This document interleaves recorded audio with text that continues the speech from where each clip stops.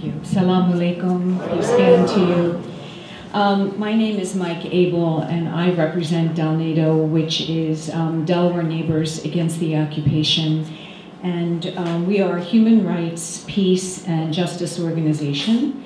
Um, we work towards a just and enduring uh, resolution um, regarding the Israeli Palestinian conflict.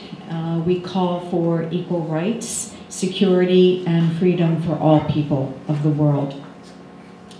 We are honored um, to be part of this very important meeting this evening, um, and we're here to express um, our deepest sorrow for the tragic murders of three vibrant, outstanding leaders, um, Deah, Yusor, and Razan.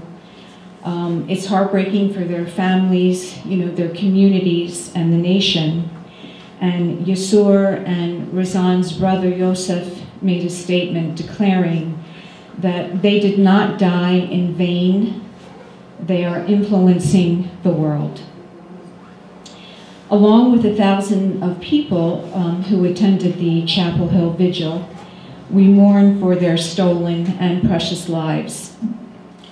We are extremely concerned with the overt ignorance of Islam with this tragedy that is uncomprehending, we hope it will awaken more Americans to the need to speak out against racism of all kinds.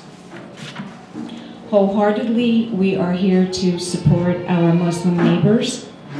Um, we will work to nullify efforts to manufacture hate in America. Our hope is that the American Muslims become global leaders in teaching the world their culture of reverence and pursuit of peace. We should all stand with you to safeguard your rights of security, freedom, and justice. Thank you.